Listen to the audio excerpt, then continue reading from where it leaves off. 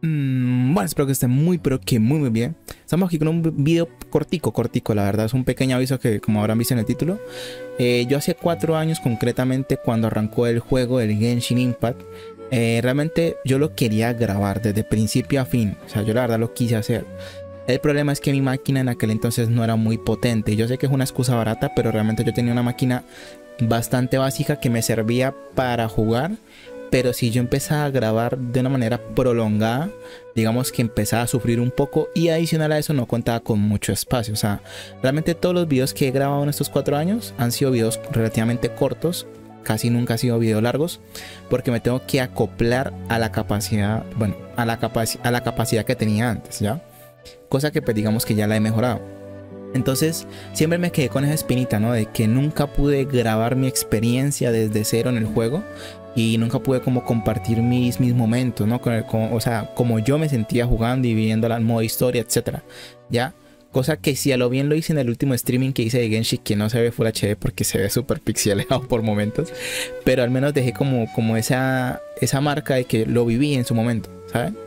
Entonces, de pronto lo quiero hacer para la gente que de pronto no pueda jugar Genshin porque la máquina no le da o simplemente no le interesa y no se ha dado como la oportunidad de verlo, ¿ya? Entonces eh, voy a quitar esa espina. Realmente quiero quitármela. Entonces este modo historia va a tener ciertas restricciones que yo mismo me voy a imponer para hacer, digamos, como más inmersivo. Y es que básicamente el viajero, que pues fue el que yo escogí, ya es un spoiler, eh, es el personaje principal de los equipos. No va a cambiar.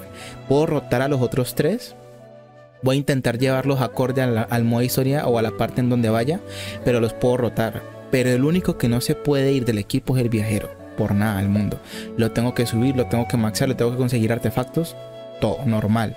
¿Ya? Obviamente, pues si termino una nación y el viajero no está full, pues no pasa nada, puedo pasar a la otra. Eh, también digamos que no, como ya mencioné, no voy a decir nada, voy a solamente grabar y a mostrar eh, básicamente los diálogos de la historia. Voy a intentar de que estos sean lo más fluido posible, o sea, que no se queden ahí como pegados, sino que que avancen un poco, pero que también dé tiempo a leer. Y adicional a eso, también a la cinemática les voy a mejorar los subtítulos porque hay veces en donde la lectura es como un poquito brusca, ¿no? Entonces lo quiero mejorar un poquito. Y ya, básicamente eso es lo que quería como informar en este pequeño video. Y no sé si ya pronto alguien llega a ver esto o se llega a ver o empieza a ver el modo historia que voy a subir. Que yo sé que muchos otros canales lo han subido en 4K Ultra Hyper Mega HD. No pasa nada, yo lo quiero subir y punto. Eh, ¿Qué? Entonces lo que voy a hacer es eso, ¿ya?